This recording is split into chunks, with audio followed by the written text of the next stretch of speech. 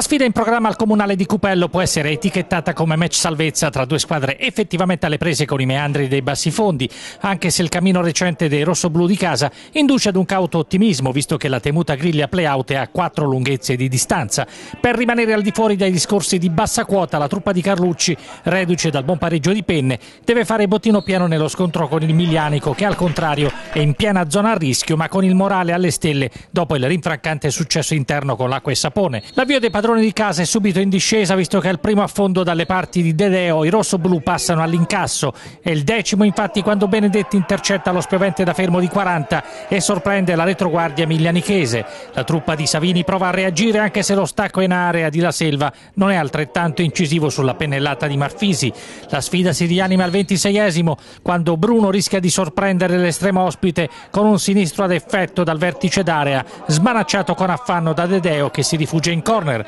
Il portiere del Miglianico non corre rischi poco dopo sul tiro centrale di Nintè. Marconato dall'altra parte è costretto ad alzare la sfera sopra i legni disinnescando l'incornata del bomber Orta, puntuale all'intervento aereo sulla pennellata di Lanani dalla corsia di destra. Il conseguente tiro dalla bandierina di La Selva costa caro al portiere cupellese, sorpreso da Marfisi che interviene con tempismo, piazzando la sfera sull'angolo più lontano con Marconato che non sembra esente da colpe. Il numero uno rosso-blu rischia grosso anche al quarantesimo quando frana sulla selva, lanciato a sua volta dall'incerto disimpegno di Bruno. La frazione si chiude in perfetta parità e il risultato non si schioderà più neanche alla ripresa dei giochi che regaleranno emozioni col contagocce. Le uniche offensive saranno della truppa di mister Carlucci, anche se non avranno l'epilogo sperato. In avvio Benedetti è il più lesto di tutti ad intercettare un tiro dalla bandierina, ma stavolta il difensore rosso-blu non riuscirà a ripetere l'impresa della prima frazione. Al diciassettesimo Nintè è protagonista di una buona giocata e di uno scambio col suo collega di reparto Pendenza,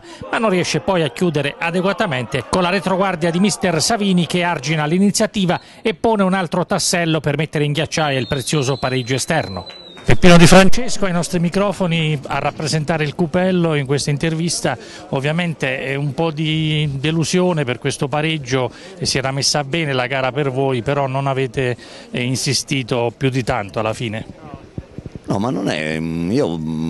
ecco, vorrei fare uh, alcune considerazioni, stiamo analizzando una gara che non abbiamo perso, tra l'altro il pareggio ci poteva stare anche bene, quindi alla fine possiamo essere anche soddisfatti, la squadra ha dato quello che giustamente doveva e quindi ha giocato con piglio, con determinazione. Però non siamo abituati alla lamentosità, tant'è che mai ci siamo permessi di fare alcune considerazioni, però oggi devo dire Ecco, ripeto, stiamo commentando non una sconfitta, ma però devo eh, fare alcune considerazioni rispetto al nostro eh, amico arbitro che eh, eh, non ha eh, fatto delle situazioni negative in maniera eclatante, però alcuni particolari ci ha, eh, credo, non è stato molto obiettivo, molto oggettivo. Mi riferisco a tre palli da tergo e mai ammonito l'avversario, mi riferisco a una ripartenza che noi stavamo eh, effettuando eh, molto molto molto molto eh, diciamo incisiva poteva essere e invece lui lo stesso non ha eh, penalizzato, non ci ha dato la possibilità. Ci sono ecco, dei piccoli particolari che che a mio avviso l'arbitro ci ha penalizzato fortemente appunto perché non è stato obiettivo nell'analisi. Noi abbiamo fatto un solo fallo a centrocampo tra l'altro e io ho detto con gli amici che guardavamo la partita che la munizione era giusta, il nostro 10 è, è stato ammonito appunto perché ha fatto un fallo da tergo, ma in altre circostanze, ripeto, tre situazioni nitide eh, dello stesso tipo, fallo da tergo, eh, l'avversario certamente, questo, però alla fine credo che il pareggio sia giusto, ma a me non mi interessa, non è questa l'analisi che volevo mettere in evidenza, il fatto di, che, la, che la gara sia stata appunto equilibrata, però voglio dire ripeto, non fa parte della nostra cultura lamentarsi della direzione arbitrale, però credo che questa, questa figura oggi ecco, non abbia, perché gli arbitri non si, va, non si, verificano per le situazioni eclatanti, perché quelle vediamo tutte, ma nei particolari. Allora, eh, lui non è stato obiettivo, anche in, in, in altre circostanze, alcune punizioni, cioè, Ecco, doveva essere a mio avviso un po' più professionale, nel senso analizzando e eh, eh, eh, facendo oh, qualcosa di, di più giusto, di più corretto e secondo il mio modesto parere non è stato. Stiamo, stiamo subendo diverse volte perché poi alla fine de, del discorso questo ci ha penalizzato, certo perché ci ha un po' innervosito, certo perché comunque eh, eh, nell'andamento della gara questi aspetti alla fine diciamo che hanno il proprio peso e quindi in definitiva la gara è finita così. Però ecco, ci vuole più attenzione, noi, noi, non ci siamo mai, non ci permettiamo mai in questi anni di fare considerazioni sulla classe arbitrale, però oggi credo che non sia stato all'altezza. Fiducioso comunque per il futuro del Cupello per evitare anche i play-out?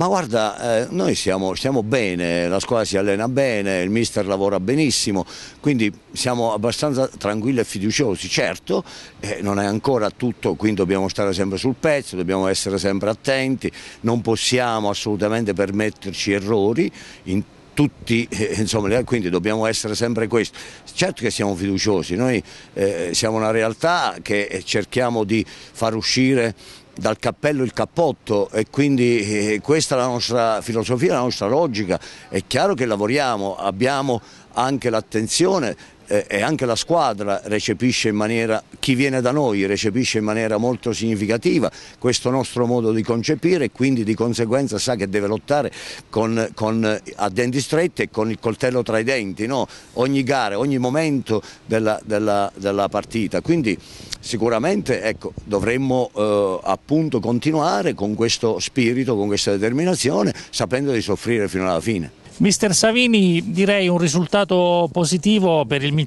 per il Migliani, che è vero voi avete bisogno di punti per muovere la classifica, ma questo girone di ritorno vi sta vedendo protagonisti.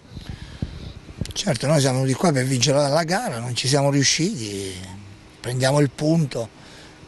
ma noi sicuramente dobbiamo fare di più, dobbiamo fare di più su ogni gara, dobbiamo cercare di vincere le gare, perché eh, con i tre punti fai il balzo in avanti, senza, con un punto smuovi poco la classifica, noi adesso abbiamo bisogno di smuovere la classifica.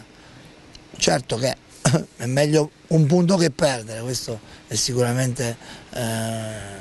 il pensiero giusto, ma dobbiamo capire che in queste sette partite dobbiamo portare a casa più vittorie possibile su qualsiasi campo. Organico comunque all'altezza. Certo, questa squadra se fosse partita così dall'inizio del campionato avrebbe un'altra classifica, ma adesso siamo qui con questa, nella seconda parte del campionato, la squadra è stata rifatta a dicembre, sono arrivati la Selva, Orta e Gialloreto, ci, eh, ci hanno portato un tasso di qualità in, in zona di campo dove avevamo bisogno, speriamo che questo alla fine ci possa portare bene e cercare di portare a casa questa salvezza che è sempre il nostro obiettivo finale. Come giudica la prova del Cupello invece? Ah, questa è una squadra che l'ho vista l'andata, io non ero ancora allenatore del Migliani, che vedere, mi aveva fatto un'ottima impressione. La vedo un po' giù dal punto di vista fisico, però è sempre una squadra con nomi importanti.